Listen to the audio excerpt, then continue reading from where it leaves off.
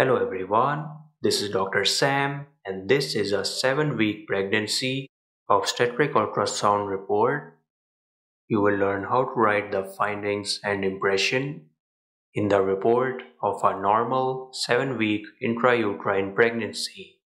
In this example, the clinical history is first pregnancy, no known complications, LMP is 5th January 2024. Date of examination is February 22, 2024.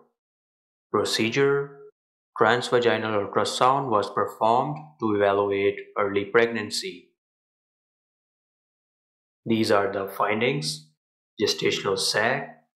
The gestational sac is visualized with an average diameter of 20 millimeters, consistent with a gestational age of approximately 7 weeks.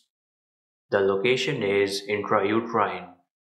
Yolk sac. A normal yolk sac is identified within the gestational sac, measuring approximately 6 mm in diameter. Embryo. An embryo measuring 10 mm in crown rump length is seen, which corresponds to a gestational age of 7 weeks and 0 days. Cardiac activity is observed with a heart rate of approximately 130 beats per minute, which is within normal limits for this stage of pregnancy.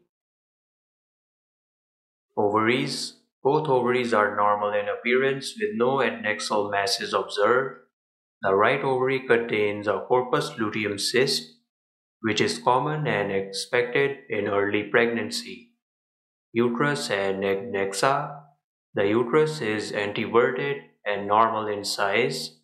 No abnormalities are detected in the uterine lining or adnexal regions.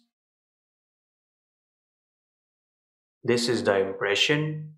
This is a viable intrauterine pregnancy of approximately 7 weeks gestation.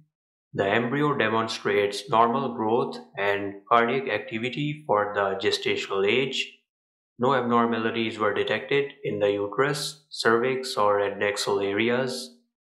Follow-up ultrasound is recommended in accordance with standard prenatal care guidelines.